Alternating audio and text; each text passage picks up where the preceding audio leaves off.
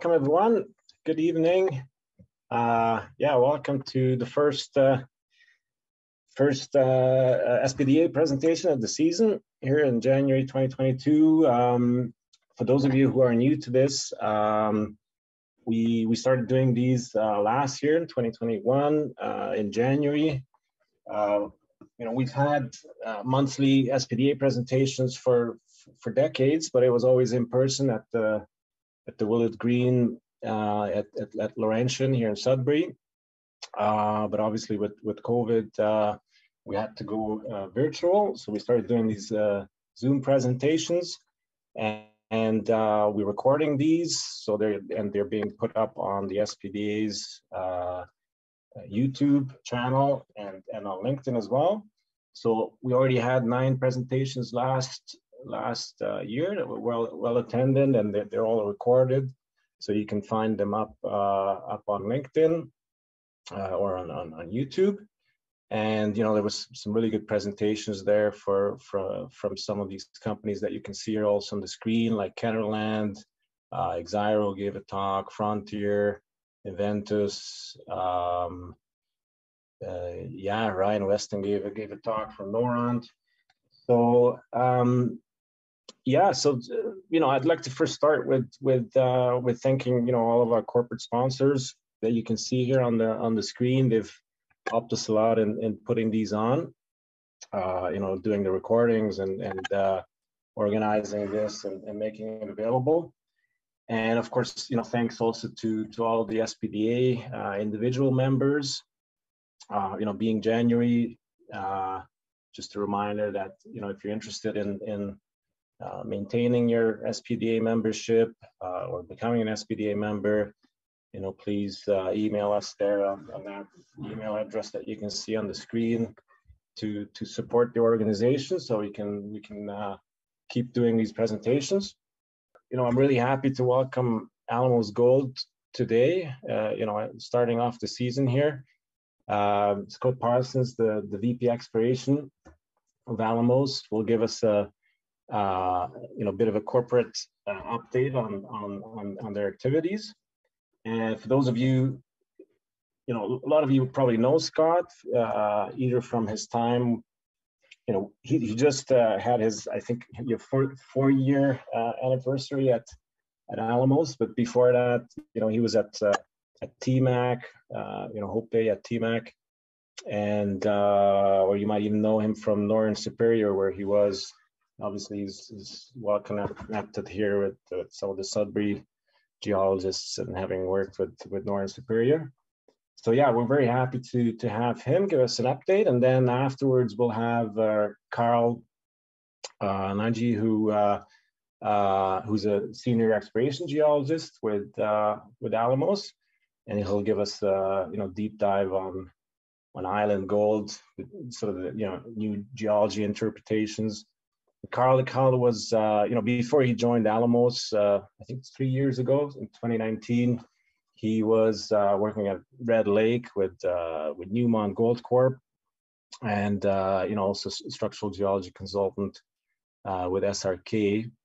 So lots of you know structural geology background there, and and and they've done a really good reinterpretation of, of Island Gold. So you know very curious to to to see that and um, yeah, to me, Island Gold is kind of it's a special treat, anyways, to to listen to this talk today because uh, uh, you know going back a few years when we acquired Fenelon with Wal- Wallbridge, uh, when Fenelon was just a small uh, near surface high grade resource, uh, we often use Island Gold sort of as an analog of what we think Fenelon might become, and and uh, you know, being being an amazing gold deposit that I think now extends down to close to two kilometers. So yeah, it's a it's, it's a pretty pretty awesome deposit. So yeah, very very keen on on uh, hearing more about it. So yeah, with further ado, uh, let's start off with uh, with Scott. Please uh,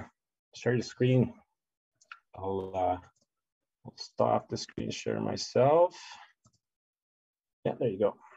Perfect. Thank you very much for the introduction and uh, very happy this worked out. I know we've been coordinating or trying to coordinate for at least a, a, year now for this talk to happen. So thanks to yourself and, and Ed and the SPDA for uh, for uh, inviting us to give the presentation. I think uh, just as a for introduction, I'll start with uh, for those that aren't familiar with Alamos, just a, a 10 minute overview of the company. For those that are familiar, you know we're going through a significant growth phase. So I'll, I'll talk about uh, our projects and our pipeline of growth that's coming up, and, and particularly with a focus in uh, in Canada. And then I'll hand it over to Carl um, after that for uh, his talk, which is kind of the main event of this uh, of this presentation, which is on the island geological model, which is, you know, in my opinion, a phenomenal piece of work. I think it's a key exploration tool. Um, you know, right from the you know the mine site for you know planning production to exploration, mine site exploration to regional exploration. So um, I'm sure everybody will be interested to hear about how we're applying the deposit scale geologic model to all of those uh, scales of targeting. So uh, this image you're seeing on the on the screen is a recent image of um, a project in Sonora, Mexico. It's a, a new mine we're, we're building right now called La Yaqui Grande. Uh, we're expecting co commercial production from this mine uh, the second half of uh, 2022. Um, right now it's uh, and we, are forecasting on time, on budget, which is excellent, and, and looking forward to getting that up and running. It's a, a low cost uh, a mine that uh, um, you know will produce for the next uh, seven years in the Mulatos uh, district. Uh, on to the next slide. Let's see if I can advance it. Um, I'm going to read through this kind of word by word, so hopefully everybody's got a bit of time. um, I will be making forward-looking statements in this presentation, so um, I encourage you to review the cautionary notes if you're if you're interested or don't if you're not interested. Um, slide, the next slide is, is an introductory slide for Alamos. So Alamos Gold, we're a Canadian-based intermediate gold producer. Uh, we have diversified production from three operating mines. They're all in North America. Uh, Alamos, you know, has grown considerably. Recording in progress. Since it was founded in uh, in 2003. Um, in fact, as recently as 2014, just uh, you know, eight years ago, we were a single asset producer, and we were operating the Mulatos mine in, in Sonora, Mexico, and we were producing about 150,000 ounces of gold per year. Since then, um, we've completed two significant acquisitions, and, and we've transformed Alamos into a company where it's producing nearly 500,000 ounces of gold per year, um, anchored by a 10 million ounce mineral reserve base. So big, big change in, in eight years, and, and we're positioned for significant growth going forward. over uh, two thirds of our production and our revenue come from our Young Davidson and Island Gold mines, which are both in Northern Ontario. Uh, both, both of these mines have 14 year mine lives, um, uh, more than 14 in some cases.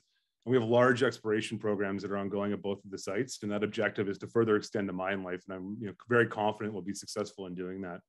We're investing heavily into exploration.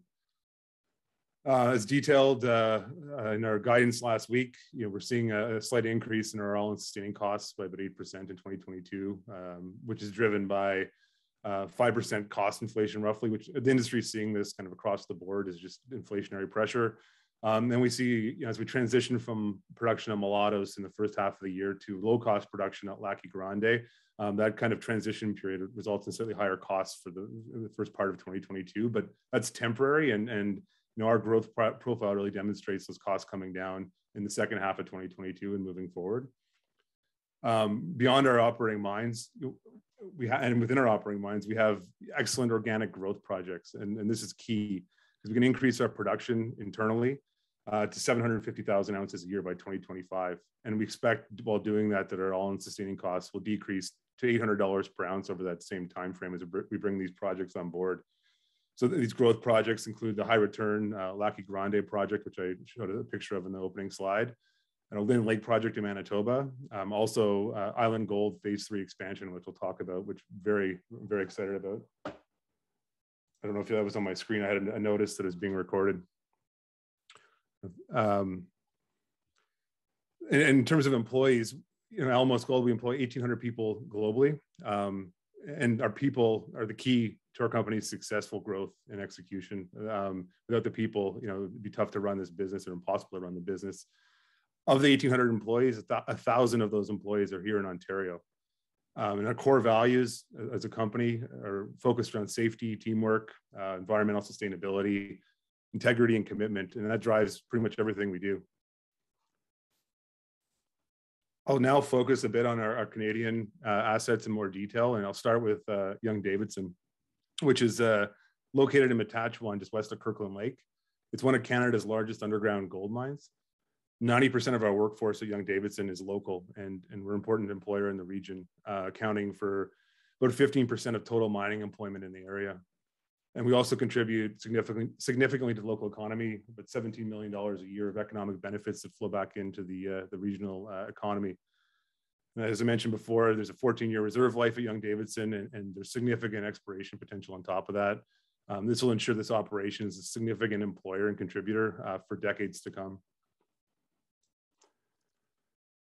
for those that aren't aware, um, in, in, 2020, we completed a, construction of our lower mine infrastructure. This is a big project. Um, which has now enabled us to increase our mining rates from 6,000 to 8,000 tons per day. Uh, the expansion has made Young Davidson far more efficient and far more productive. And basically what it'll do is enable us to produce 200,000 ounces of gold per year, which at current gold prices will generate $100 million of free cash flow annually.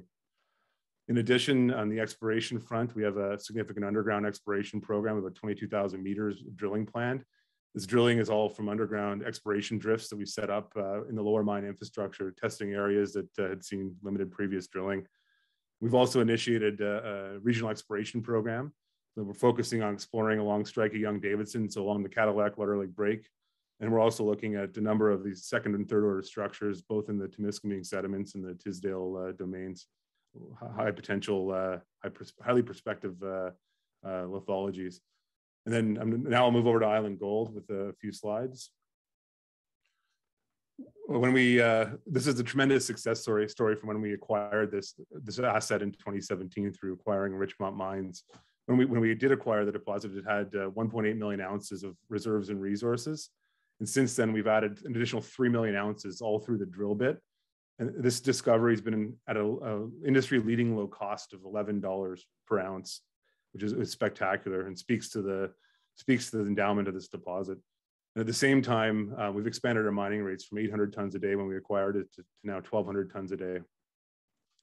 Island's now approaching 5 million ounces in mineral reserves and resources. It's one of the highest grade and most profitable gold mines in the world.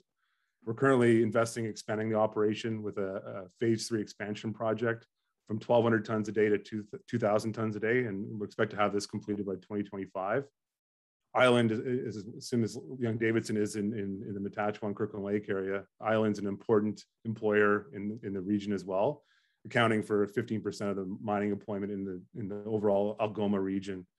And we also contribute significantly to the local economy, uh, about 12 million a year of economic benefits to the regional economy. As I mentioned, like, as I mentioned, the exploration success that we've had over the last number of years um, you know, it's resulted in uh, the decision to install a shaft as part of the phase three expansion project, which will bring us up to 2,000 tons a day by 2025.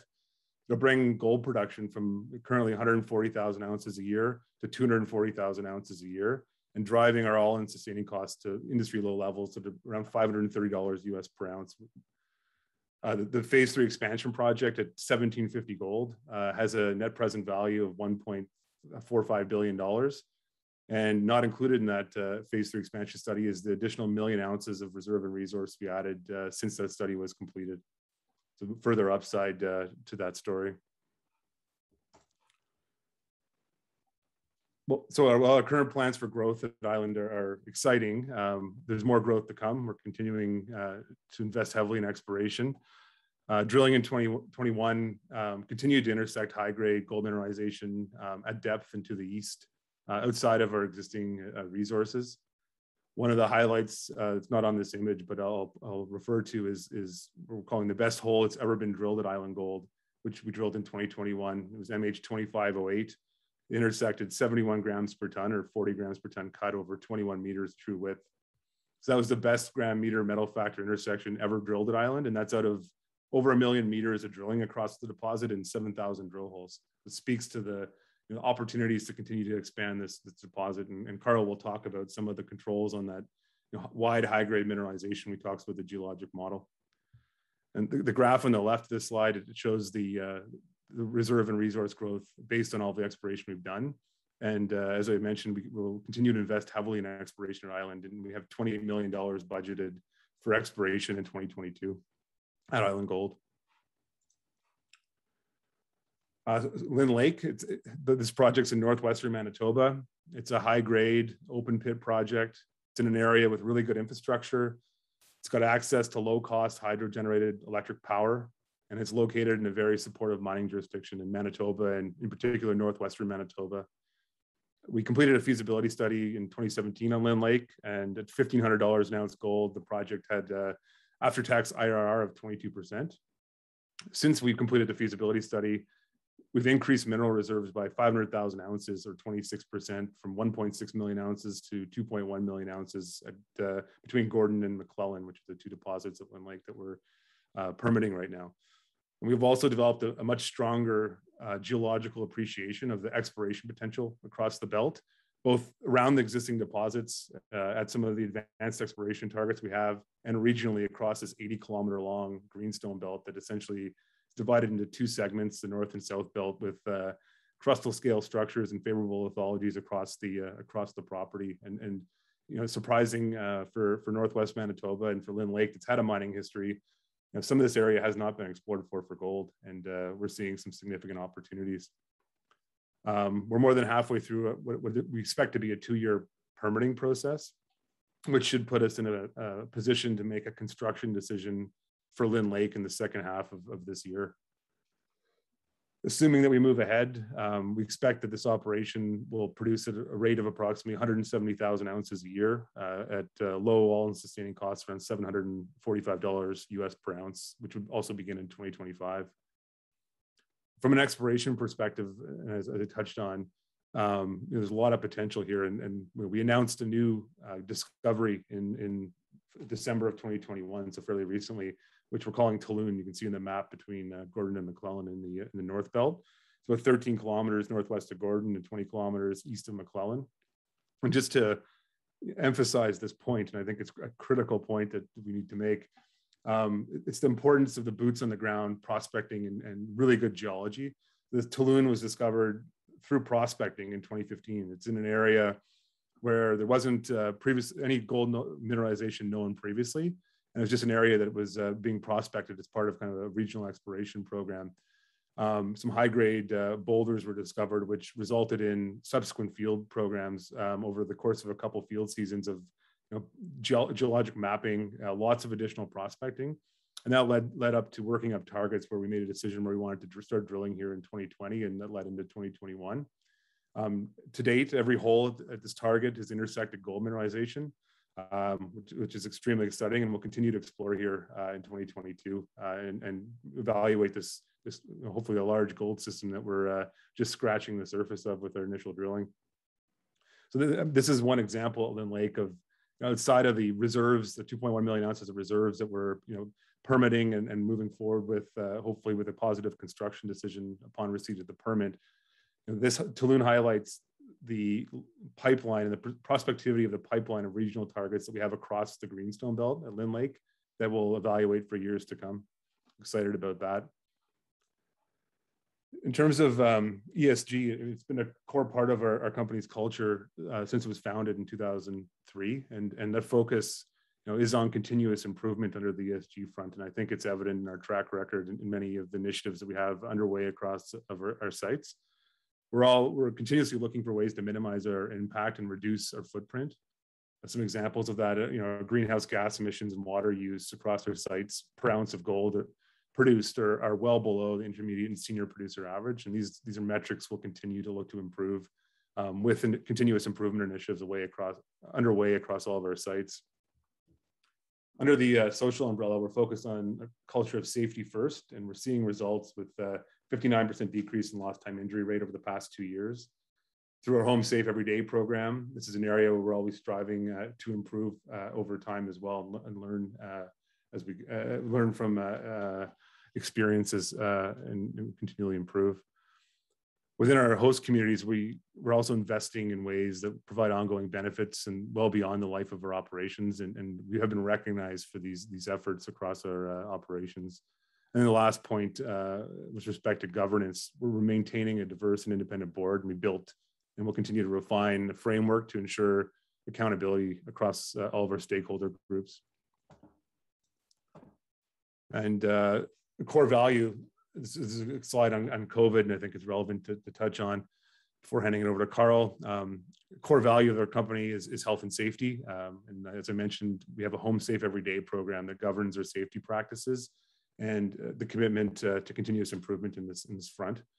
Uh, response to the COVID-19 pandemic is an example of uh, our focus on safety. We, were, we were proactive in implementing procedures and protocols early on in the pandemic. Um, we hired independent medical advisors to support the development of, social distancing and COVID-related policies and procedures um, while everybody else was still, you know, re reacting and trying to figure everything out. We we're one of the first companies based on that advice to uh, conduct screening of our employees to keep COVID-19 away from our mine sites. And we screen currently at all of our sites. We've now conducted over 100,000 COVID tests and, and uh, since we introduced uh, site-based testing in 2020. And this is uh, my, my handover slide for uh, Carl's presentation. But before I, I, hand it over to him, just make a, a few points on uh, what Carl's going to speak to, because I think it's, it's critical. Um, so both myself and, and everybody at Alamos, for that matter, we strongly believe that the geological model is essential to understand what's controlling the mineralization of your deposit. And as I, I said in my introductory statement, from you know, this is from the regional scale, deposit scale, down to stope scale in the mine to be able to make you know effectively inform decisions, whether those are production decisions or exploration strategies um, across the board. So you know, the island team has put a considerable amount of time, dedication, and, and, a lot of effort into developing this model, and we'll continue to evolve it as we get more information over time. By no means is this static. It's it's and Carl will speak to this. It'll be constantly evolving as we get more information and test these ideas. Um, I'm very pleased to have Carl here today instead of me presenting this to you because he's much better better in terms of uh, presenting it because he's one of the key technical leads on the project. He worked uh, closely with Michelle Cote, who's our chief exploration geologist, and you know as well as a highly skilled team of enthusiastic geologists uh, at Island to build this model. And this didn't happen you know overnight. This took a, a lot of relogging, a lot of geochemistry, a lot of structural measurements, underground mapping, which Carl will touch on to, to establish this model. So with, with those comments, I'll uh, stop showing my screen. I'll hand it over to Carl, who's uh, as Attila mentioned, a senior exploration geologist at Island Gold, and he'll present the Island Gold geological model and uh, how we're applying that uh, to exploration targeting. So thank you very much. If there are any questions, we'll uh, we'll pause at the end for those. Thanks, Scott. Um, so I'll just share. Can I share my? I think I might have to. There we go. I think you can. Yeah. All right.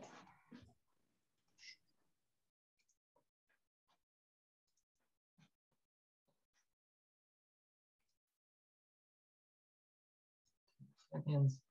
So just can, can someone just confirm that you're seeing the full screen PowerPoint?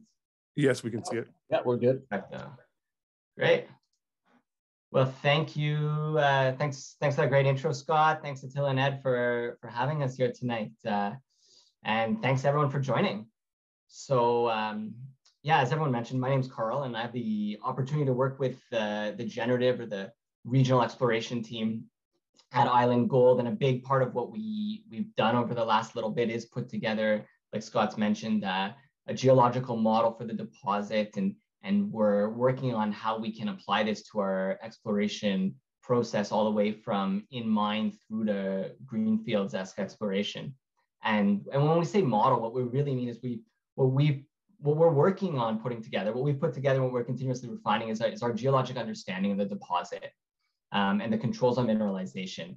And model, definitely when we think model, we go right away to wireframes. And, and ultimately that's a component of it. But the biggest component in my mind of the model is that understanding. And, and so what I hope to kind of convey maybe over the next half an hour-ish is, is really not any specifics, any kind of geologic detail or particular wireframe or this or that, but rather how we can develop our geologic understanding um, through pretty core practices, nothing, you know, revolutionary rocket science, then how that works its way into our exploration workflow.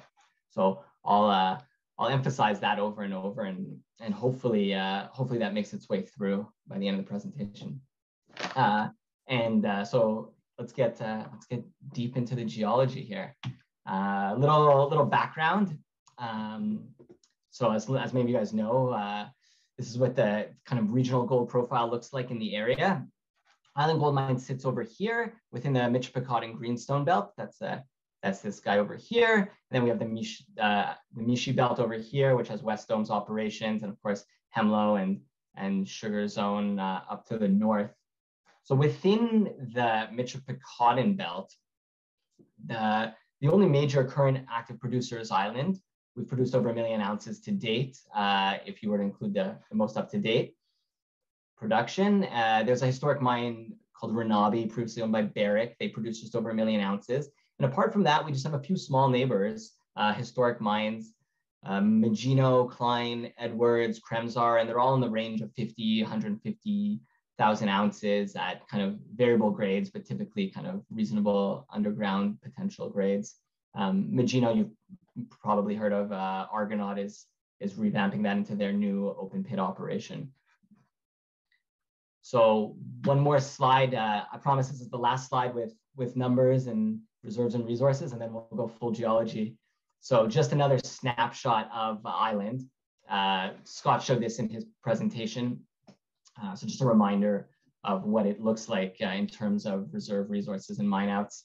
So in uh, light blue is our inferred resources, uh, and then in dark blue measured and indicated, and in yellow our reserves. And you can see the numbers in the bottom left there. As Scott alluded to, we've got almost 5 million ounces at this deposit, and it's it really is already something remarkable and, and turning into something even more remarkable. So it's definitely a, a pleasure and an opportunity to work there. Um, a couple things from this slide to remember as we move forward. The big one being, so these two purple uh, wireframes in the middle, these are two diabase dikes that, that transect the mine, and we're gonna keep them in a lot of figures moving forward and uh, there'll be a good reference for where we are. We're going to flip around up, down, bottom, top. So just keep in mind these two dikes bisecting the mine. You can think of the mine roughly as a kind of east, east, northeast trending feature bisected by kind of two orthogonal dikes. All right, so now we're into the geology, I promise. Um, so stepping out to the geology of the belt. So this is the uh, Island Gold Mine sits here within the Michipicoten Greenstone Belt. Wawa sits roughly down here if you've ever kind of driven through uh, Northern Ontario. They've got the slowest Tim Hortons, uh, I think, west of Sudbury.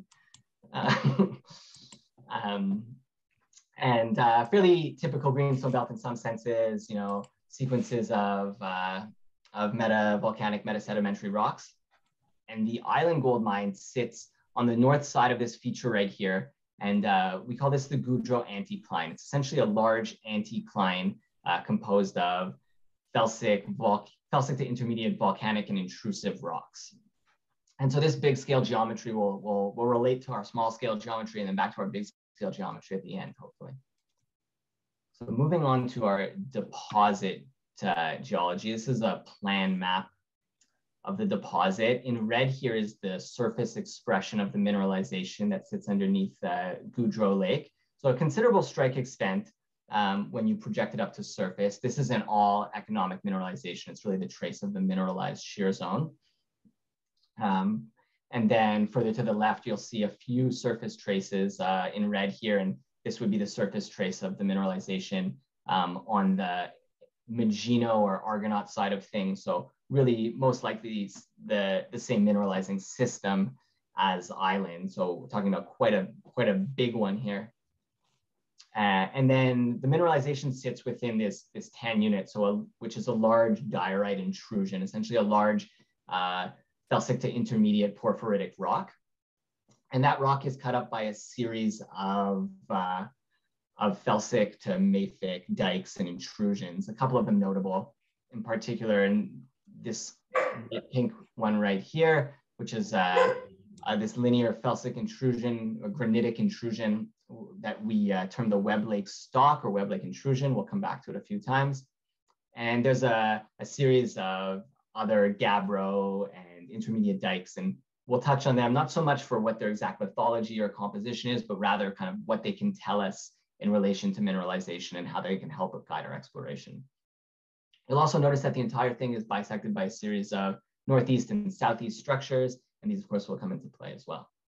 So Scott alluded to, we, we've done quite a bit of work on the geology of the deposit. Um, and I'm just going to touch on a few key elements here in order to try to kind of convey that, uh, that message. So there might be some things that are uh, glossed over a little bit.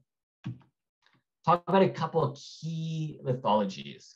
So the bulk of the deposit sits within this, this unit that we can see in the upper left. These are two pieces of core. This is a kind of porphyritic diorite and an aphanitic one and a thin section example of it. So that's the bulk of the deposit. Think of it as the host rock. And we're going to talk about really on this slide is what you can see in the upper right here. And these are uh, QFP, fairly typical QFP units. And when you kind of pick them out systematically throughout the deposit and then and then interpret them and visualize them and model them, uh, you get the sense of their distribution. They form these, uh, these lenses. So if we look in long section down here on the bottom left, these two dikes here are the dikes that uh, that we saw in that reserve resource wireframe, uh, sorry, reserve resource slide earlier on. So just for context, kind of the core of the deposit is right here. And then you can see these series of, uh, of QFP dikes that are plunging to the east. Take a look at kind of the section right here. That's the section in the middle here. So in slightly upper elevations of the mine, you can see they're fairly steep, kind of jogging down a little bit. And then if we look in the lower portion of the mine over here at these lenses, we can see them that they've really shallowed out. They're kind of curved, uh, moderate to shallowly dipping to the south. So what these lenses are telling us, and we can combine them with a whole bunch of other things to see that, is they're essentially acting as a proxy to the geometry of our stratigraphy. So we know we're in a big folded uh, anticline on a regional scale. So we know that the folding, I mean, in, as in is the case in really any you know greenstone hosted deposit, the folding is going to be an important element. But as in, but as is the case in a lot of greenstone hosted deposits, understanding or seeing your folding or seeing a lot of structures can often be pretty cryptic depending on what your host lithology are, et cetera, et cetera, et cetera. So in this case, we're able to use our QFP lenses as a proxy for our deposit scale fold geometry. So we'll come back to how this, all these things relate to mineralization kind of in the latter part of the presentation. Uh, so a couple more important lithologies. So what we're looking at here are dikes, and you can think of them as just felsic through to mafic, potentially even ultramafic dikes some examples. We have gabbro dikes in the top left. We have some uh, diagnostic felsic dikes on the left and some kind of um, mine units or um, we'll call them on the, just sitting beside that. And the reason that we, we're putting a lot of emphasis on dikes is because when you're in these cryptic environments where it's hard to see different units, different lithologies, different structures, the dikes are often stand out and they can be one of the things that we can um, that we can identify, we can log, we can extract from historic data very systematically. So we've broken the dikes in this figure here into three different uh, sets. So if we look at the set on the left here where my cursor is, you can see these dikes coming down fairly steeply and then shallowing out. And so these dikes here are doing the same thing that we saw our QFP lenses doing in the previous slide. They're mimicking the, the folded geometry of the deposit. This set of dikes up here in the upper right image are all striking to the southeast and they're all very steeply dipping, subvertical. And then here in the bottom right, they're all striking to the northeast and they're steeply dipping subvertical again. And so what these are showing us three different structural sets that are going to become quite relevant. One, stratigraphy, and two are, uh, are sets of shearing. Let's move to the next slide here. Uh, right.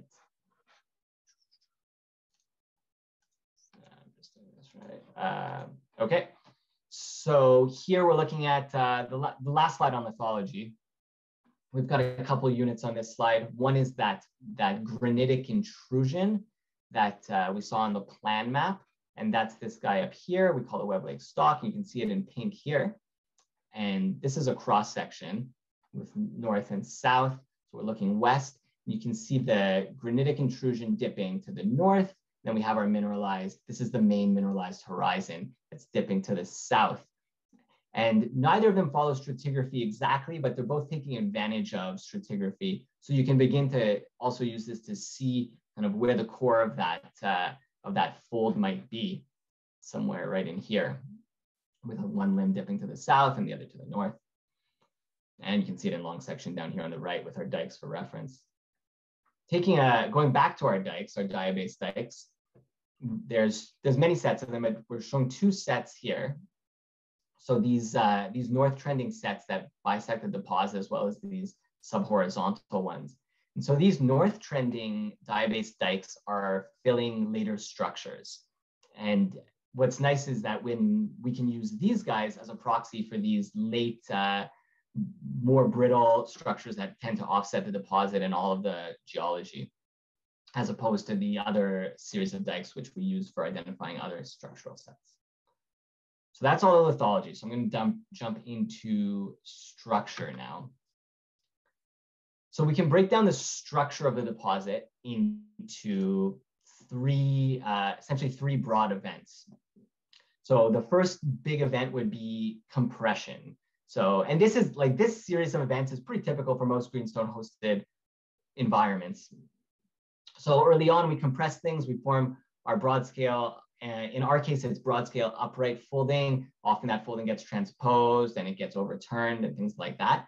And this is where you develop that infrastructure within which you're gonna over you're gonna put the gold mineralization in. Uh, and don't mind my little cartoon schematics here. I did my my best.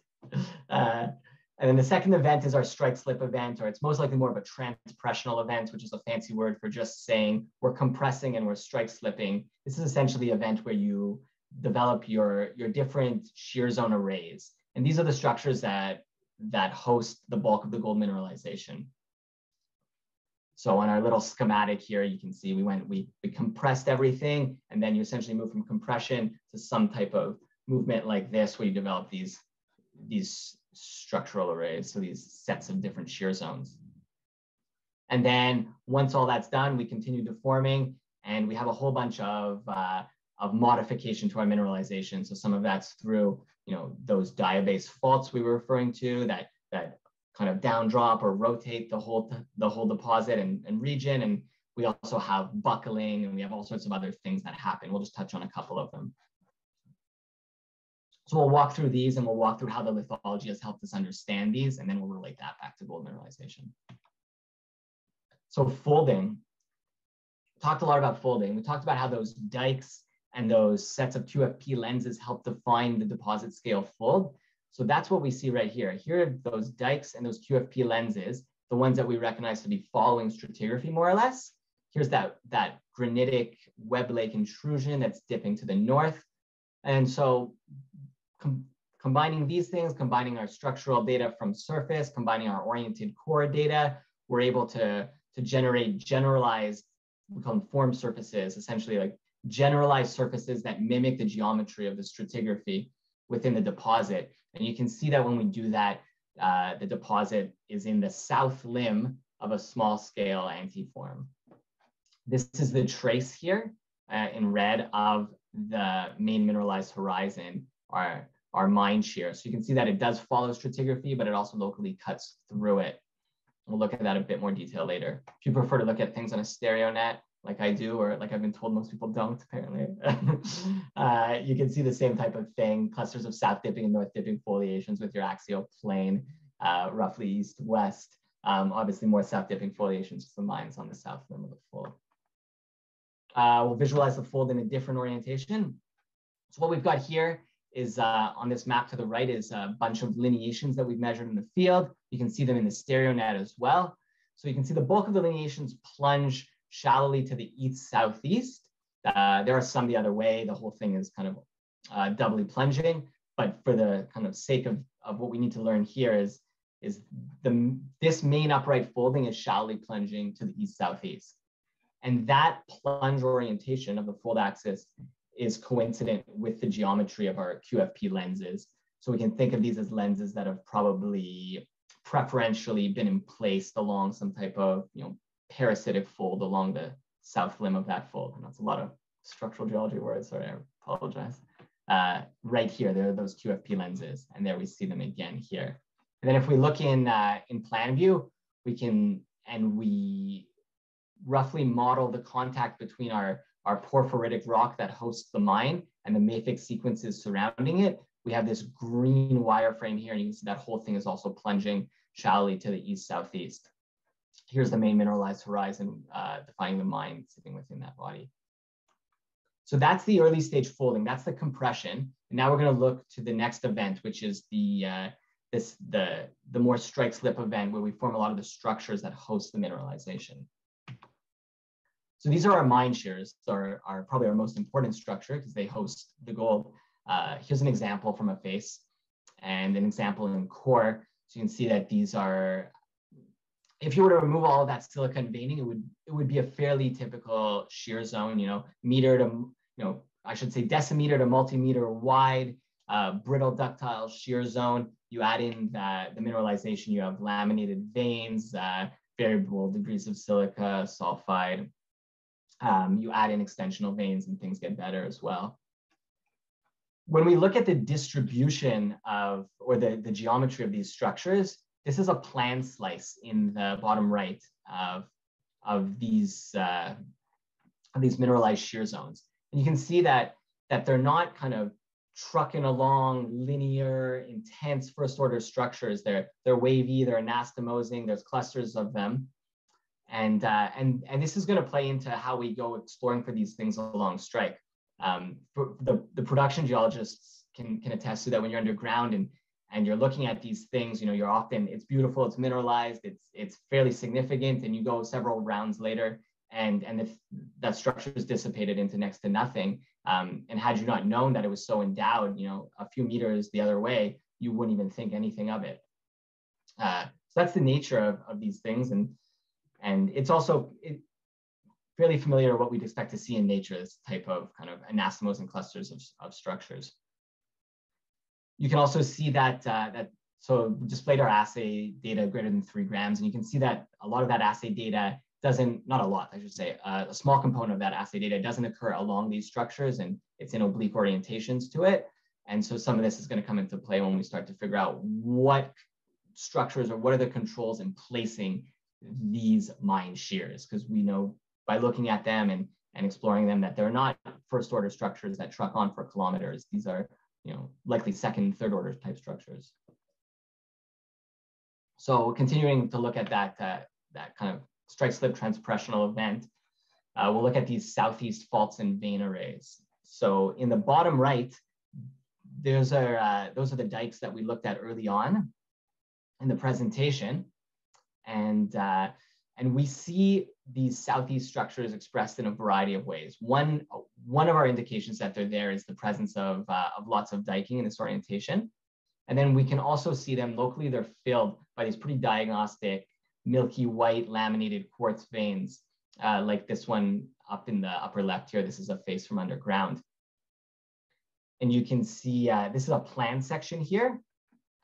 There's, here's our, our main mineralized horizon in red. That's, that's curvy, linear, and anastomosing down this way. And then these red intervals are intervals of this milky white quartz. And, uh, and you can see they line up quite well and they're filling a southeast structure that runs right into here. And where that southeast structure intersects our main mineralized shear zone, we have uh, very high grade mineralization and we and it's one of the primary controls on our high grade ore plunge. And so these structures are very important, but like a lot of things that are very important, they're, they can be very difficult to, to find and to understand. This is an example in core of, uh, of one of these structures. And if you were to look at that, I mean, it's it's not particularly impressive. It's a you know brittle ductile shear zone. There's a core to the shear zone, but it's not overly dramatic. There's some characteristic hematite that surrounds it within several meters on either side, but it's by no means a, a structure that you know you would instantly pick out as as a significant thing. But recognizing their character and what they look like, we're able to pick them out more systematically, and then using proxies like dikes and and uh, and these veins filling them in, we're able to find them, identify them, model them, and and then we'll tie them back to mineralization later on. Uh, there's northeast structures that exist in the same orientation, same general idea. Uh, you can see that they're a little more complex because they don't just control the mineralization like up here, they also offset it. Um, I won't spend too long here, it's same general idea. So now we're moving into some of the structures that, uh, that modify the mineralization. These are two cross sections on the right. Uh, the one on the left has assay data greater than four grams, and the one on the right has, uh, has several dikes on it, geology and whatnot.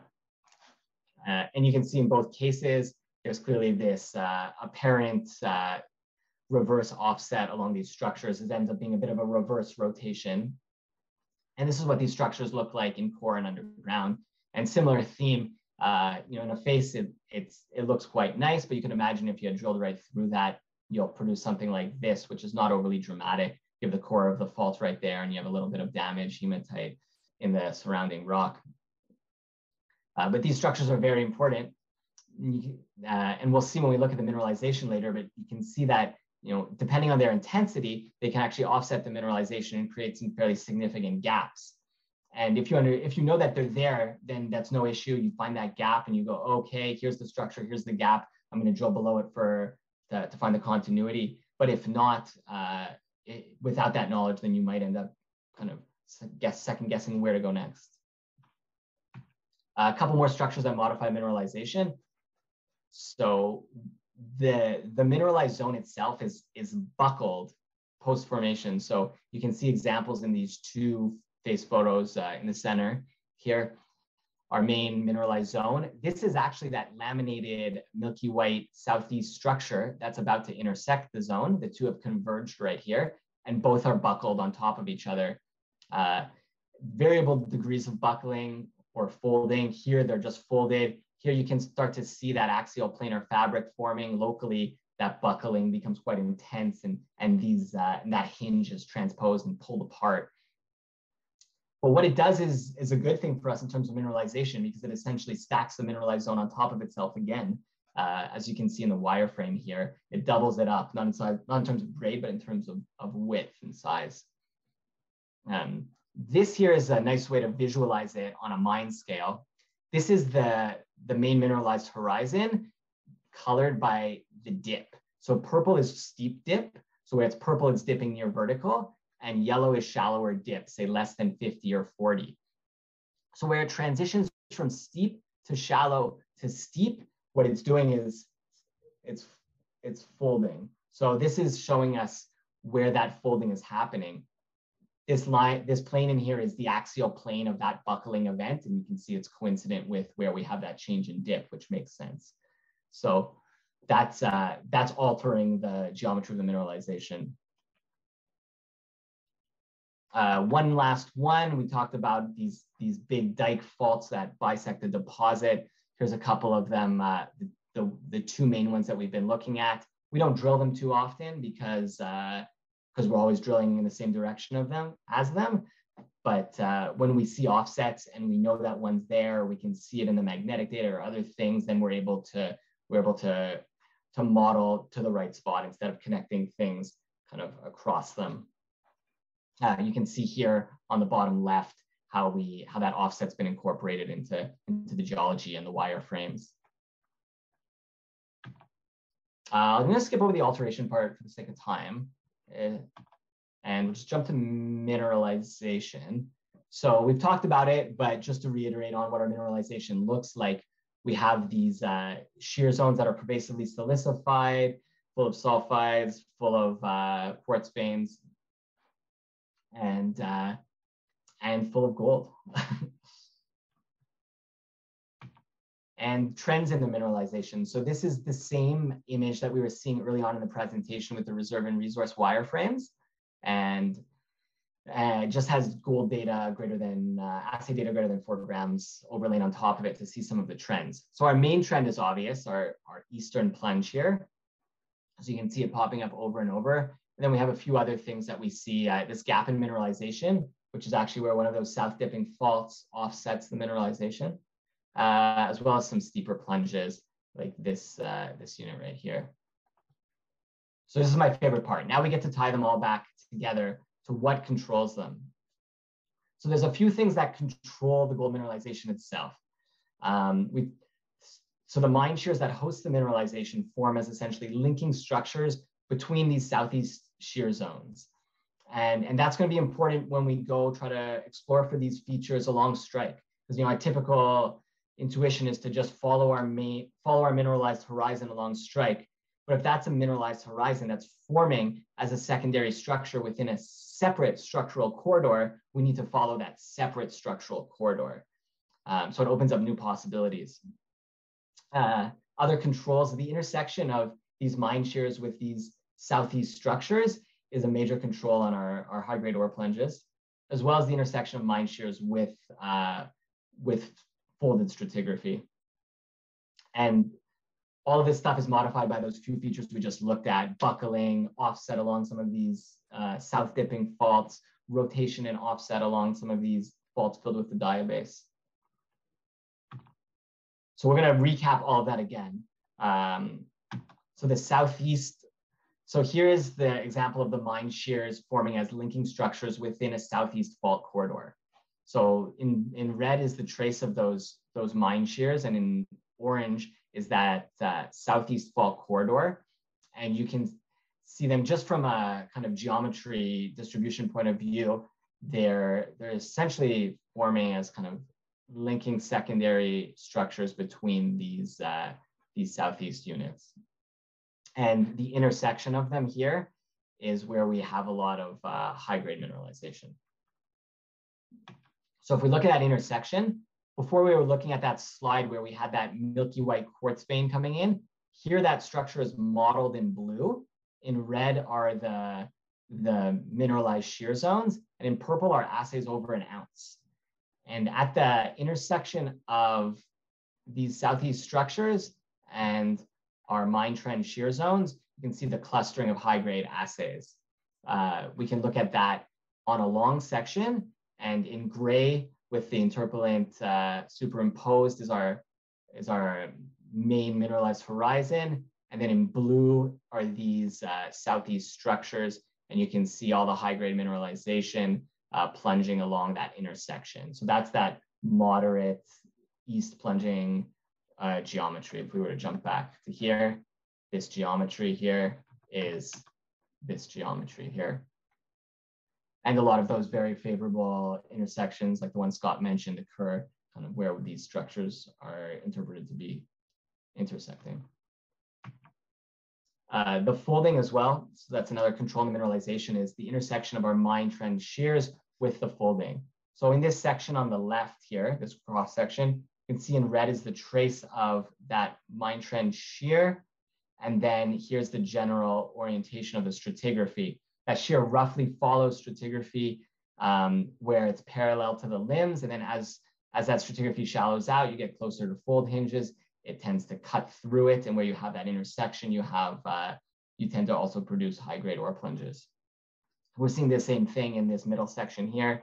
We have our, our shear zone that's running along and where it intersects our folded stratigraphy, uh, then we'll develop ore plunges. And that's what we're seeing here as well. The geometry of that ore plunge is quite similar to the intersection of these southeast structures with the main mine shear as well. Um, so if we look at those collectively, it looks something like this. Uh, I prefer to look at it on a stereo net and you can see kind of the, the change. So we've got our main mine shear in red, we've got our southeast fault here in blue, and then we've got different limbs of our stratigraphy in orange. So you can see the intersection of that blue and red plane, which is this blue line here, is slightly steeper than the intersection of our mine shear with our stratigraphy, which is this brown line here. And our plunges essentially, uh, our, our, main, our main plunges are controlled by a combination of these two features. So sometimes they're slightly steeper, slightly shallower. Some are controlled by one or the other or both.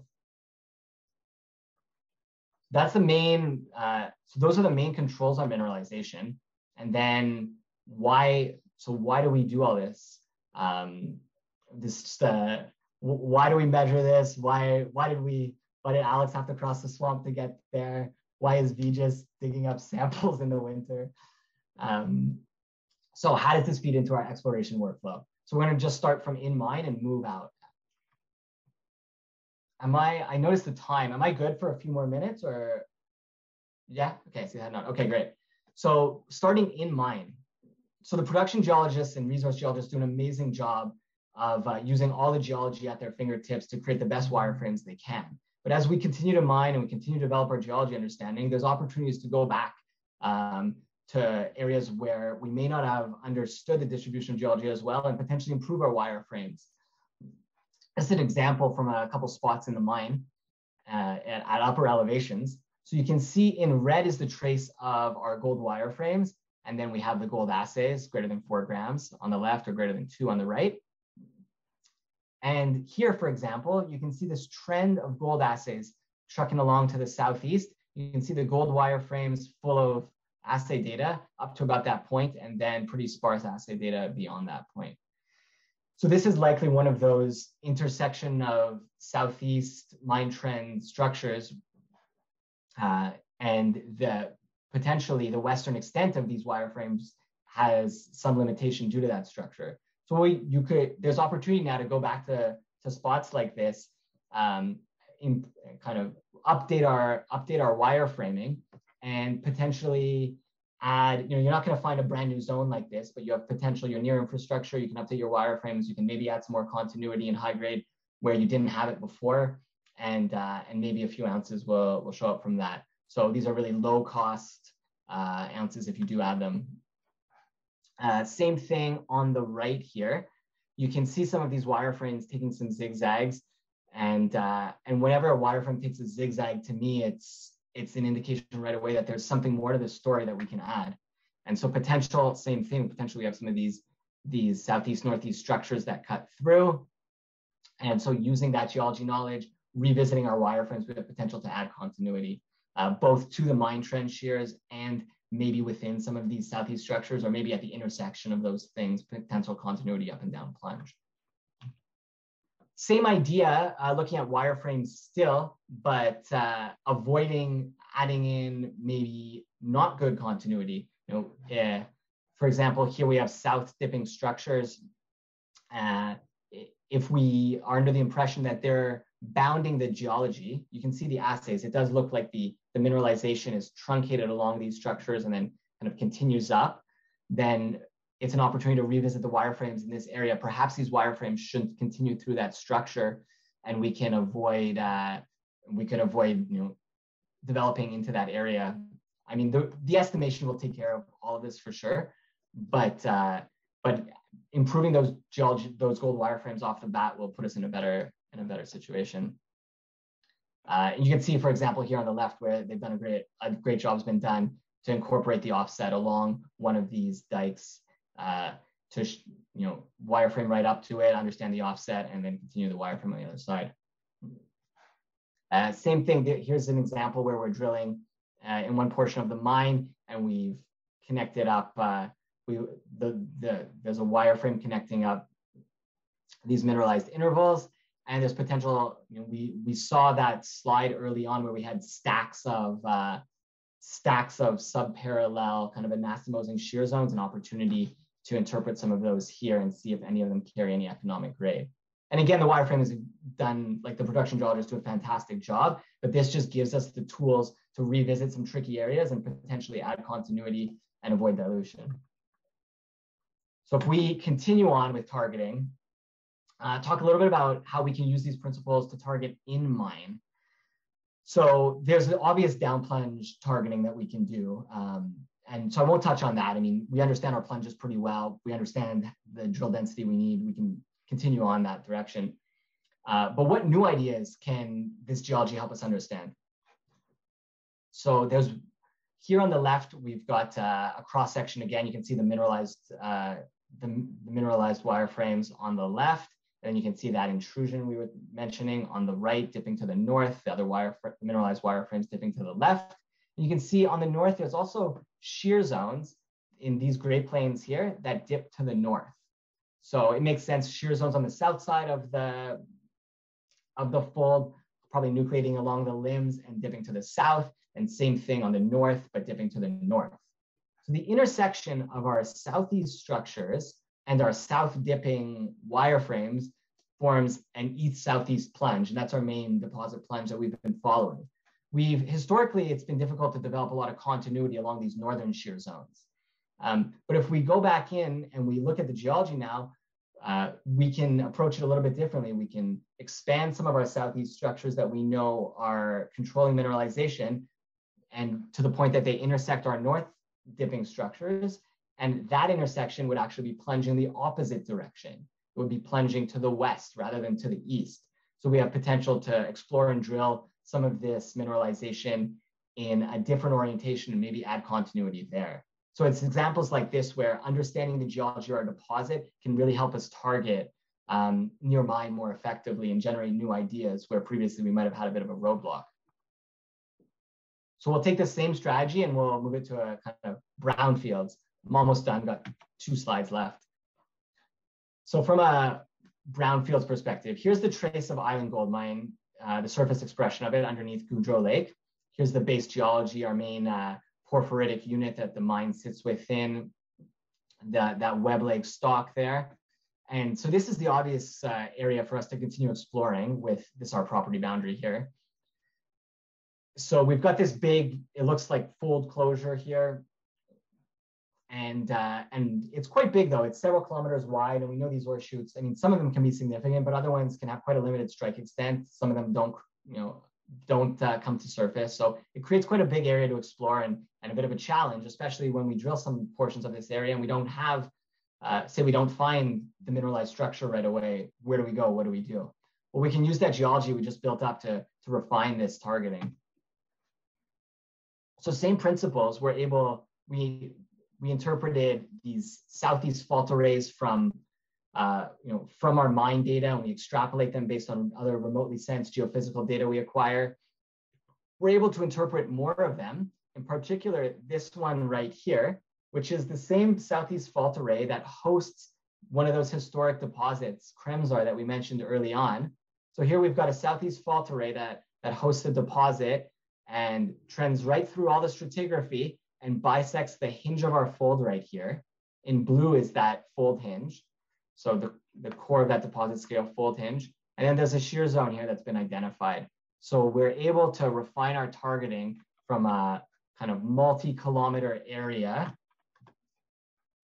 down to, I'm not going to say pinpointing by any means, but down to a relatively smaller target of higher value that has all of the favorable attributes that we're after. And, uh, and so I, I find it really exciting to be able to take these principles that we develop through the model, through the mine, and then use them on this scale and, and really generate new conceptual targets, new ideas. Uh, and, and then once we go test these, inevitably we'll find out new things that prove that a lot of what we thought was wrong, but at least it's gonna allow us to have all that uh, understanding. So last slide on taking this concept and applying it on an even bigger scale, a bit more of a regional scale. So here's the trace of the mine again down here. Um, that's that target that we were just looking at on the previous slide. And here's the geology on more of a property scale. So if we take that same approach, try to identify more of these structures through geophysics, through mapping, through other avenues, we can identify quite a significant southeast fault array right here. Um, and we can use those same remotely sensed techniques to identify fold hinges, this time within the mafic sequences. And then for this is just one example, we're able to kind of pick a target where we have the intersection of a major southeast fault array and a hinge. And this area right here, outlined in gray, is a big glacial fluvial outwash plain. So essentially a large delta, tens and tens of meters of, uh, of overburden. So areas where you don't have a lot of uh, tools at your disposal to really you know, generate showings or, or gold anomalies. Uh, so same principle, take this, apply it on a different scale. And I threw this in just because I think it's kind of fun. You can see these same geologic features affecting the geology on a belt scale. So this southeast fault array right here is the same line that you see here and here. That Goudreau anticline that was mentioned at the start of the presentation, the big kind of anticline of, uh, of porphyritic rock within which the mine was on the north side of it, that's this guy right here. And you can see that that whole big fold looks to be kind of pulled into plane and transposed along this large southeast fault array right here, which is this guy right here, which is also this guy right here. So we're able to kind of take these thoughts and use them on different levels and, uh, and hopefully generate you know everything from in mind to regional targets to maybe even regional concepts that we want to explore beyond our property. Um, so that's the extent of what I've got. Uh, obviously, I did not do all of this work or anything close to it. This was a, a all the work we do is a huge contribution from all sorts of teams. We've got a great team at Island. Uh, all of all of our all of our geologists and students and technicians and drillers and GIS and database support people. Um, we've got a really strong technical team at at uh, at our our corporate office. Uh, as Scott mentioned, Michelle and and and Myron, uh, who help kind of drive these projects. Um, we work with consultants as well that uh, that help uh, help drive elements of the projects. Jun Cowan is a good idea generator. John Fingus is a, a good all around at everything. Eric Krensky helps with a lot of geochemistry and and the mine exploration teams, the resource geology teams, the production teams. Um, it's a constant kind of input from all of them, um, as well as, of course, our management team, Scott and, and Renald and Michelle and Dean, who, uh, who kind of give us the means to, to do these projects and explore. So thank you very much. I'm sorry if I, uh, if I overextended the time limit a little bit. Oh, Carl, that was amazing. Yeah, thanks, thanks, Carl and Scott. That was that was great. Yeah, it's really rare to see such such uh, great 3D modeling being you know put put together. Amazing, you know, huge amount of work uh, to unravel this complex geology. Uh, just kind of reminds me of when uh, Richmont used to own the project, and, and um, uh, you know, it, it, was was a bit of a struggling mine initially, and and uh, then they made the discovery of the deeper, higher grade zones, and uh, I mean, I never really understood you know, what's causing that difference in grade distribution or why why is that higher grade domain there? But yeah i think your model shows a lot of good ideas there of the the shallow shallowing folding and and some of the other plunge controls that really give you those high grade shoots. Um, yeah i think there's a couple questions already coming in and i i have i have a ton of questions but yeah maybe sticking to the to the to the regional scale initially there's um, you know, I was wondering a, a little bit about the kind of, you know, on a greenstone scale belt, like what's the key ingredients for why Island Gold is where it is? You know, what's what's controlling it to be there? Like, is it the Goudreau anticline? You know, is it the good host rock, or you know, what are what are your thoughts on why why it is there? I think there's a few there's a few key features, the ones you touched on. It's uh it's the host rock. I think that the, it's a favorable host rock. It's you know this porphyritic diorite, not unlike a lot of other deposits. Um, and then it's where it sits in the in the. We didn't go into too much detail on it, but the Goudreau anticline is a is a big anticline, and island itself is another anticline. So it looks to be a parasitic fold on the northern limb of that larger scale fold. So you probably add in a more complex fold geometry, and then you hit the whole thing with these uh, with these southeast northeast uh, structural arrays. So I think it's it's very much kind of the mixture of of all of the things that uh, that you need and and a little mm. bit of luck too probably. yeah, because I mean, and, and a lot of the rest of the Abitibi, you know, some of the story is obviously simplified, but you got a first order you know, Destor-Porcupine or something like that, and then you're sitting in a secondary uh, structure coming off of it, or uh, it doesn't seem to be that simple here, right? So um, yeah, that's been a big, uh, I don't want to say problem, but a big kind of debate for a long time in this area is where's your first order structure? Yeah. Where's your crustal scale structure from which all your secondary third order structures are coming? The thing that was your major early conduit. And, and I don't think that there's any um, agreement on it. I definitely have, you know, I can throw out some ideas. Um, for example, there, you know, if we were to draw a cross section of the belt on a big scale, you'd see a bunch of belt scale thrusts. Um, and my suspicion is that some of these features, potentially this dark one right here, is a mm. belt scale thrust that actually is a major domain bounding feature. Um, it's early on in this in the game, but that might be one of our major fluid conduits. Um, and so our first order structure here might not, you know, a lot of the belts, your first order structure is reactivated or progress or like continuously activated and, and you see it at all stages of the game in your final belt distribution, you see that first order structure cutting right through the middle. That might not be the case in, in, in Island. Mm-hmm. Other options is that potentially some of these big late, uh, these big late uh, what looks like you know potentially big lake brittle faults are tapping into some type of deeper structure and are are helping as conduits, and a lot of the mineralization is very late. That's also another idea. Um. But but there's definitely no consensus or no answer on it. Yeah. Well, maybe just following up on that, there was a question here from Clark. Uh, I guess it's mainly to Scott. Um, well, first of all, you know, congratu- he's congratulating on the tremendous success of of you know that you've achieved and with, the, with your team in the last years. And the question is kind of on the exploration potential, I guess, of the eastern part of the belt. So, you know, you acquired in 2020 quite a bit of additional ground there. That's Cline and Edwards. Uh, and then also 20% of Manitou Gold, which have a lot of properties there in the eastern belt. So, as much as you can, you know, speak to it, like, what are your thoughts on sort of the consolidation or the you know exploration potential kind of in that eastern part of the belt yeah, it's it's a great question, and um, it's, it's one of the reasons we did acquire Trillium was you know as this model is developing, we saw this fold, um, you know, kind of the limb of the fold to the south, dipping further to the, the south and getting closer to what would have been the property boundary as we continued to drill down plunge at Island East. So the main strategic rationale for that acquisition was uh, was uh, to secure that ground so that we weren't uh, we weren't going to be limited by any sort of a, uh, you know land tenure boundary um, that that that uh, that existed. So, um, and in combination of that, I mean, you see stepping out in kind of the, the, broader scale away from the mine exploration. You see some of Carl's ideas here that he's presented based on uh, you know the understanding now from the uh,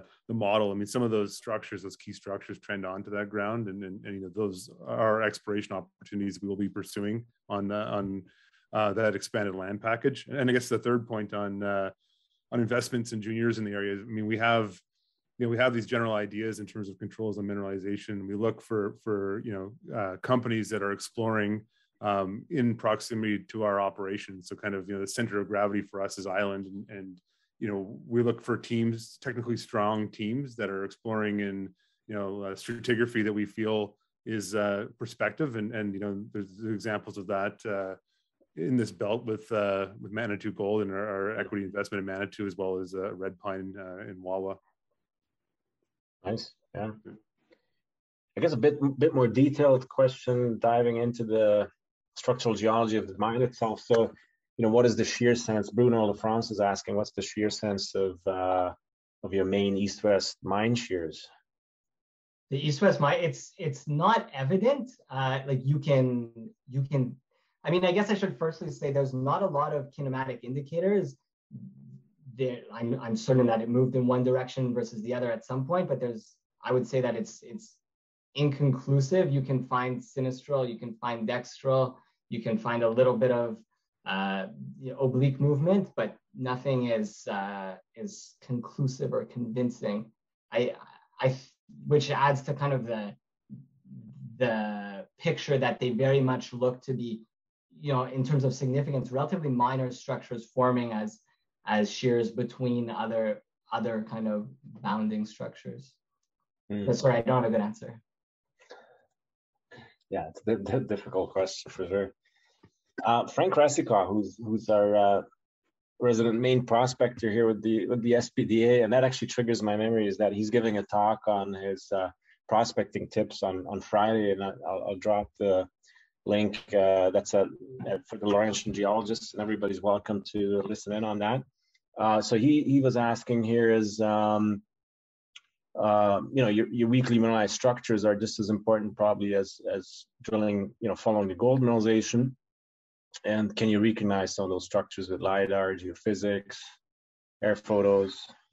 Yeah absolutely. So that's a huge component of our program. So on this slide for example all of these southeast fault arrays you're seeing i mean wherever you've got uh, maybe a little red surface trace that's where we've got good data and we can go find them in core. But everywhere else, we we uh, we mainly use detailed magnetics. And it was one of the things we you know, we recognized the importance of some of these structures. We recognized how cryptic they were. We said, how do we how do we find them? What type of remotely sensed data can we see them in? You know, they're not sulfidized. We're not going to see them in IP surveys or EM surveys but we do see them by the way that they offset stratigraphy or offset geology. So if we're able to generate uh, a mag survey at a high enough resolution, then we can pick them out.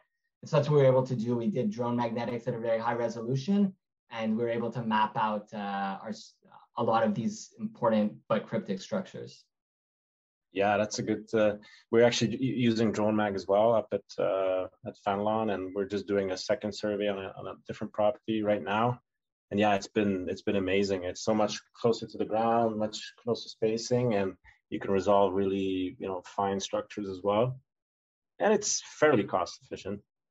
Yeah, what I found really impressive was like we got did the same thing as you got as as best resolution as we could, and and it was at the point that you could pick structures out of the mag and then find those structures in the lidar, and then have confidence that those are actually like rather than a lineament, they're becoming faults, mm. um, which is a really like big gap to bridge. I find from like a geophysical interpretation to actual like you know ground truth geology.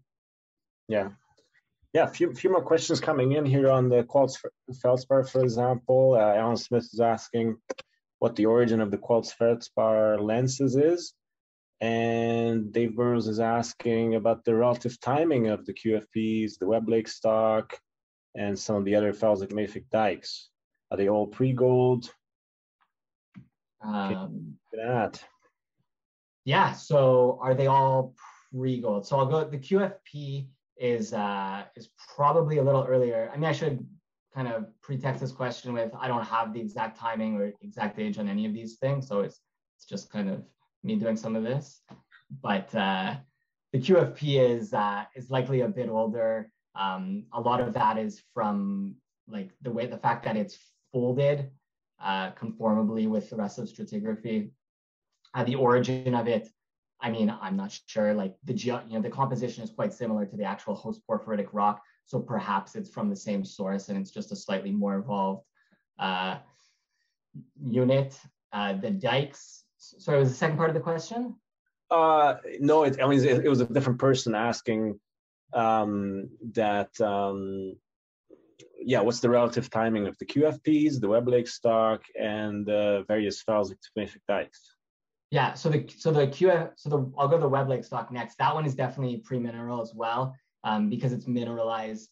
Uh, it, the Magino mine adjacent to us is hosted within that stock, so it's pre-mineral. I think that there is an age on it. it. I don't have it off the top of my head. If Michelle's on the call, she she might know. Um, and then the dikes are variably aged. Some are pre-min, some are syn-min, and some are post-min. Um, some are, as you'd expect, some are conformably folded with stratigraphy. If I kind of jump back to, I jump back to the slide with the, here we are. So, I mean, on a very simple level, these ones are certainly pre-min. They're folded as part of kind of the larger package. And then these ones and these ones are variable between uh, between Synmin and Postmin, but they tend to cut through the folded stratigraphy, so they're a little bit later. Mm. Yeah, and then on age dates, uh, yeah, I guess Bruno is asking whether this 2672 uh, MA old dike that is undeformed, to which dike set does that correlate with?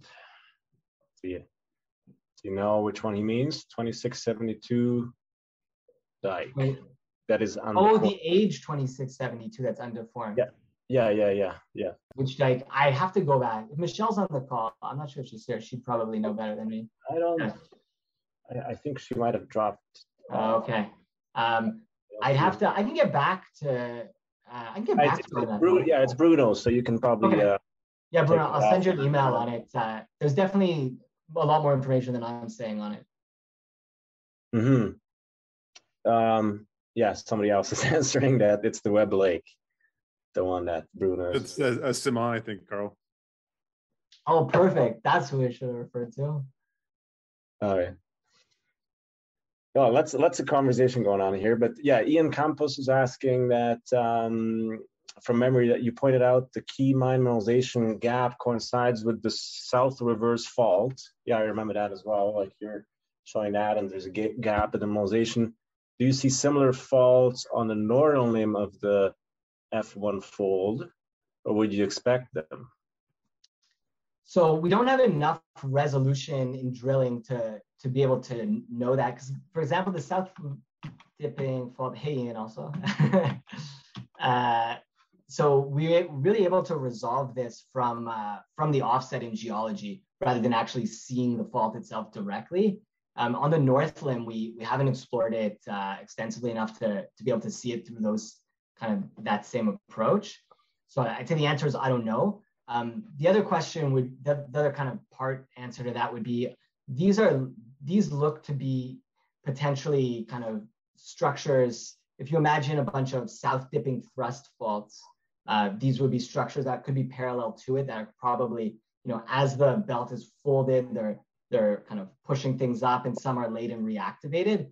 So I'm not sure if I I don't know if those structures, I think those structures would still be south dipping even on the north limb in that case.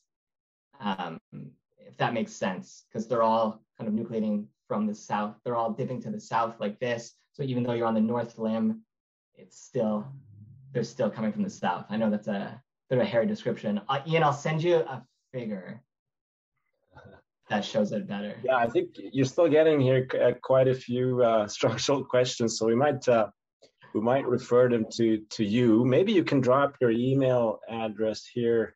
Yeah, absolutely. If you don't, if you wouldn't mind. Yeah, Because yeah, there's still some more questions about the Matachewan dikes uh, and the throw being consistent with the diabase dikes. Yeah, lots of lots of good questions there. Um, but yeah, I think um, yeah, let's let's wrap it up. Uh, but yeah, I mean, it was it was amazing talk. Lots of really good discussions.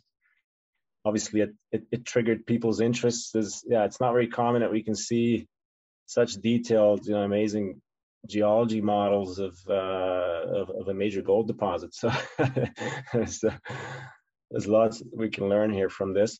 And then just a reminder for everybody that, uh, you know, we did record the presentation. We're gonna work on editing it and hopefully we can, in a couple weeks from now, we can put it on online.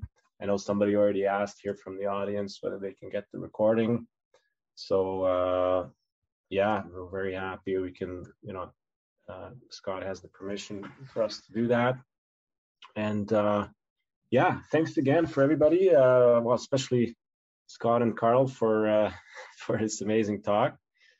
And uh, yeah, if there's there's uh, no more questions, yeah, Amanda's just thanking us for for the presentation as well. So yeah. Yeah, thanks to you guys. And, and if there's any feedback, I mean, it's like Scott mentioned, it's a work in, it's kind of our evolving work in progress. So we'd love, you know, if anyone has other ideas that that kind of came to mind, please shoot them our way. We'd love to discuss and better our understanding. Yeah, well, and that's the whole intention with these talks is to foster this kind of discussion because there's always a lot of good. You know, the audience is full of exploration and academia and government and you know experienced geos. So probably some good ideas still out there that um, you guys can touch base on and discuss. So yeah, thanks again for for joining us, and uh, yeah, enjoy the rest of the, the winter. See you see you in see you next uh, next meeting in the February. Thanks a lot. Thank you, everyone. Take care.